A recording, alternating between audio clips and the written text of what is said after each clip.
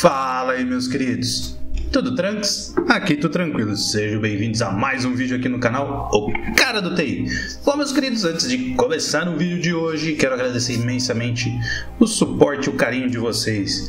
E se vocês ainda não sabem, tem live toda sexta-feira lá no Voldemort, ou conhecido como Twitch, isso. Procura lá canal O Cara do TI.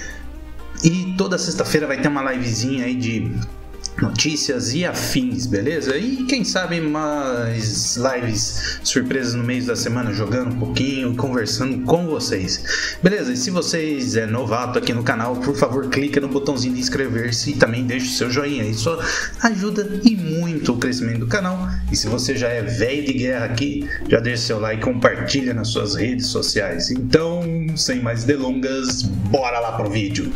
Bom, meus queridos, queria já estar tá trazendo esse vídeo aqui já há um bom tempo, mas eu estava esperando tomar mais corpo, mais forma e tudo mais. Ah, há um mês mais ou menos, um jornalista da Forbes, isso mesmo, da Forbes, ele fez um artigo na, na própria Forbes, né, falando a sua migração para Linux. Isso mesmo, meus queridos. A, a Forbes, né, que é uma das maiores é, empresas de jornalismo do mundo, deu atenção para o Linux. Isso mesmo. Ah, o cara é o Jason Evangelho, Evangelho, acho que é isso mesmo que fala.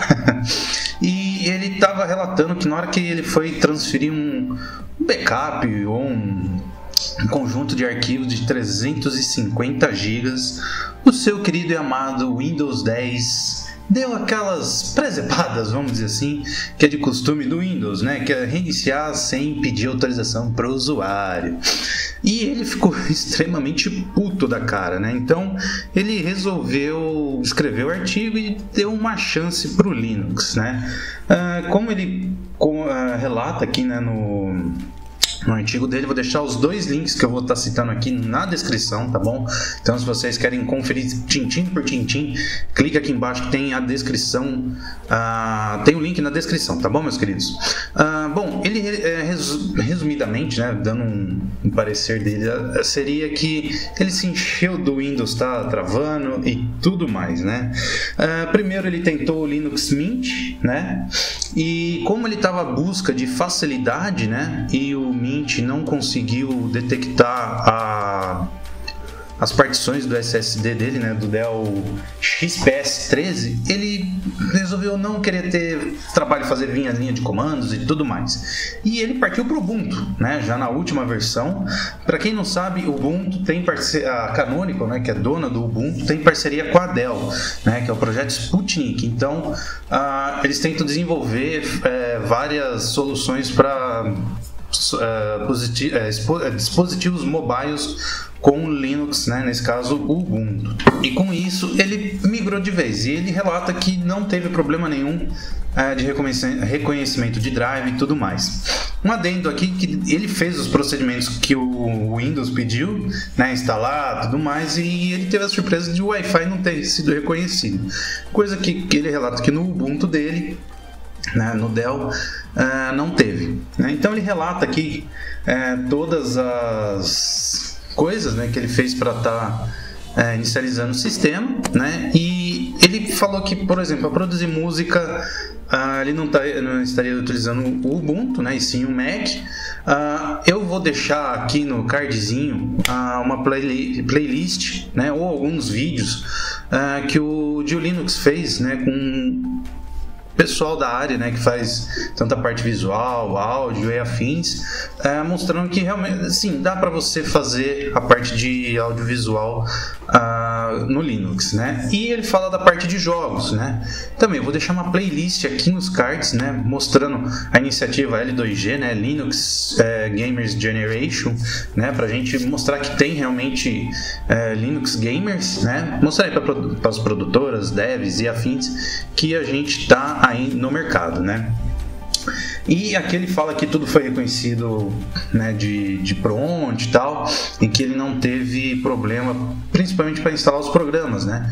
Que ele fala que tem aqui o Snapcraft, né? O, os snaps, né? Eu ainda tô meio receoso com os snaps, né? Porque ainda tem alguns ajustes para estar tá sendo feito, mas é muito promissor. Já falei em vídeo também que é a tecnologia que vem para revolucionar junto com o Flatpak, né?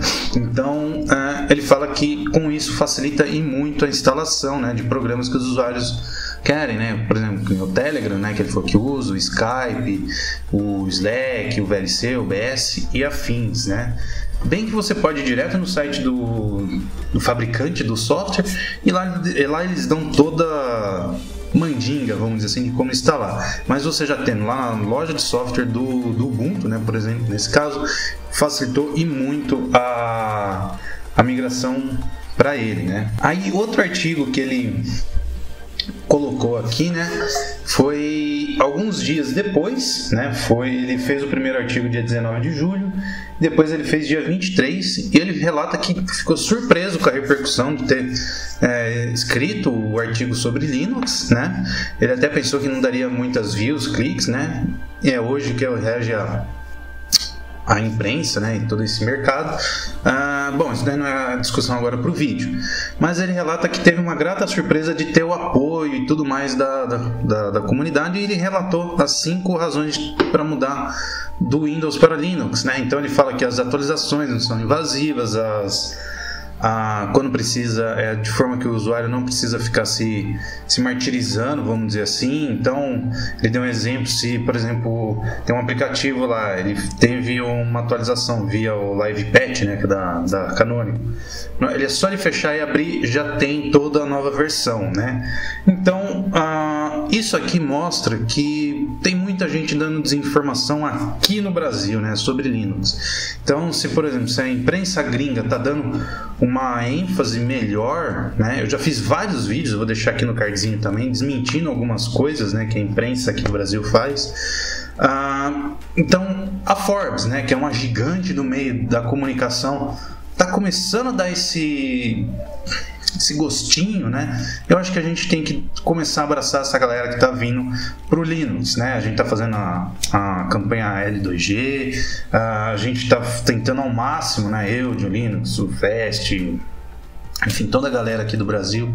A gente está tá tentando trazer o pessoal, mostrar que não é todo esse bicho de sete cabeças, né? Mesmo se precisar usar um terminal, não é uma coisa tão complicado, né? Ele até fala que nunca, na, na experiência dele, ele nunca mais precisou tocar no terminal, ele não, não precisou fazer isso, né? Então isso mostra que o Linux ah, tá deixando de ser um bicho papão, né? Com o Ubuntu, Mint, o Fedora, enfim, todas essas distribuições é, friendly user, né? Que a gente sempre bate nessa tecla. Se você quer trazer alguém que não é do mundo Linux para o Linux, não adianta você trazer uma distribuição fodona, que é cheio de coisas que você vai fazer na unha. Por exemplo, um Debian, um Arc, um Slack. Uh, isso daí é para usuários de avançado ou curioso. Se você vai oferecer para sua mãe, sua tia, sua avó, o vizinho ou para uma empresa, tem que ser uma coisa fácil para eles estar utilizando. E aqui a Forbes dá essa corroboração tem que ser friendly user as distribuições para atrair mais o público. Tá? Uh, então é isso que eu queria falar hoje do vídeo. Muito legal essa matéria da, da Forbes. Eu vou deixar aqui os dois links da matéria, vou deixar o link do Twitter do repórter também. Vão lá, agradeçam ele pro por ter falado de Linux, né? Eu já fiz a minha parte, né? Então, se vocês puderem, vão lá no Twitter dele, agradeço por ter dado esse apoio para o Linux, tá bom? Isso é muito importante para mostrar que a gente não é mesquinho ou egoísta. Tá bom, meus queridos? Espero que tenham gostado do vídeo. Já sabem, se gostou, dá aquele joinha que vai fortalecer muito. E se é novato, se inscreva no canal e não, não se esqueçam de me seguir lá na Twitch, tá? É só clicar no coraçãozinho e é fácil, tá bom? E toda sexta tem live lá. Tá bom, meus queridos? Espero que tenham gostado do vídeo. Aquele abraço, até uma próxima e tchau!